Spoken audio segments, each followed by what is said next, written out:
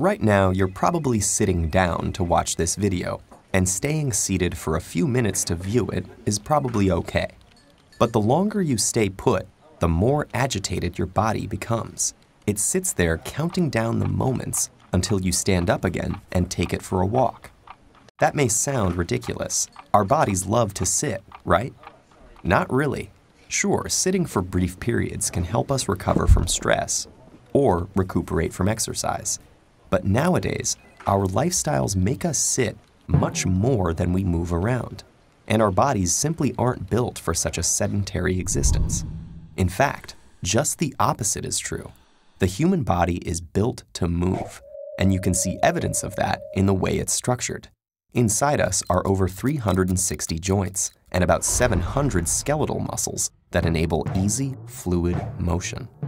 The body's unique physical structure gives us the ability to stand up straight against the pull of gravity. Our blood depends on us moving around to be able to circulate properly. Our nerve cells benefit from movement, and our skin is elastic, meaning it molds to our motions. So if every inch of the body is ready and waiting for you to move, what happens when you just don't? Let's start with the backbone of the problem, literally. Your spine is a long structure made of bones and the cartilage discs that sit between them. Joints, muscles, and ligaments that are attached to the bones hold it all together. A common way of sitting is with a curved back and slumped shoulders, a position that puts uneven pressure on your spine. Over time, this causes wear and tear in your spinal discs, overworks certain ligaments and joints, and puts strain on muscles that stretch to accommodate your back's curved position. This hunched shape also shrinks your chest cavity while you sit, meaning your lungs have less space to expand into when you breathe.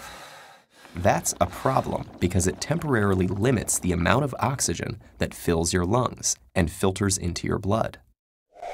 Around the skeleton are the muscles, nerves, arteries, and veins that form the body's soft tissue layers. The very act of sitting squashes, pressurizes, and compresses, and these more delicate tissues really feel the brunt. Have you ever experienced numbness and swelling in your limbs when you sit?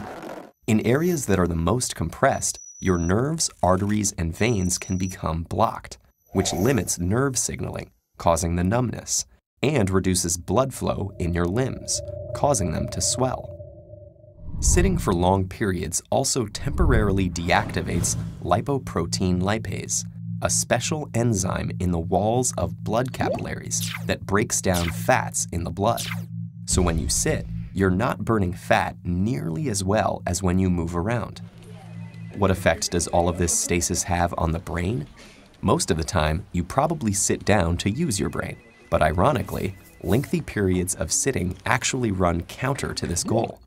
Being stationary reduces blood flow and the amount of oxygen entering your bloodstream through your lungs. Your brain requires both of those things to remain alert, so your concentration levels will most likely dip as your brain activity slows. Unfortunately, the ill effects of being seated don't only exist in the short term. Recent studies have found that sitting for long periods is linked with some types of cancers and heart disease and can contribute to diabetes, kidney, and liver problems. In fact, researchers have worked out that worldwide, inactivity causes about 9% of premature deaths a year. That's over 5 million people. So what seems like such a harmless habit actually has the power to change our health. But luckily, the solutions to this mounting threat are simple and intuitive.